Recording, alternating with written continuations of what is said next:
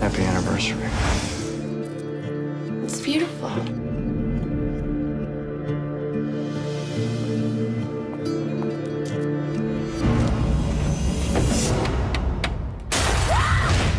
She has several deep lacerations, internal bleeding.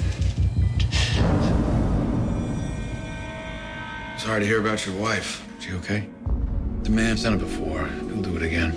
We can take care of him for you. Who are you? I represent an organization that loves this city. We're tired of watching it go to hell. I really don't know what you're talking about. You know what I'm talking about. This wouldn't cost you anything financially, but we may ask a favor of you at some point in the future.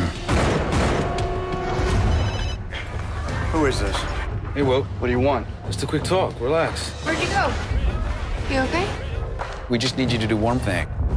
Nobody said anything in the agreement about killing anybody. So get the hell out of my life. We should go to the cops. You tell them everything. Some of them are cops. When it's done, you call me. A promise is a promise, Will. You have no idea what this guy is capable of. Where have you been? Thought I heard you walking around.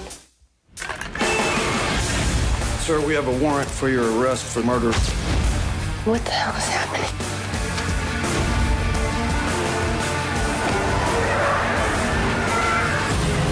I'm done. Will, come back. I want to talk to you.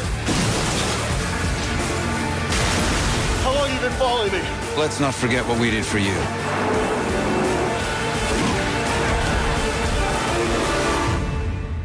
We're just a few citizens seeking justice.